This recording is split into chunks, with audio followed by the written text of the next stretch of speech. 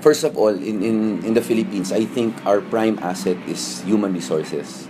Tala, ang Pilipino talaga ang pinaka uh, asset ng Pilipinas. That's why uh, we have a, a strong workforce. We have many OFWs because the talent of the Filipino, I think, is uh, uh, unmatched by any other uh, country. So I thought it best that uh, we have to ensure that uh, uh, the best capital we have, which is human resources, is uh, uh, taken care of properly.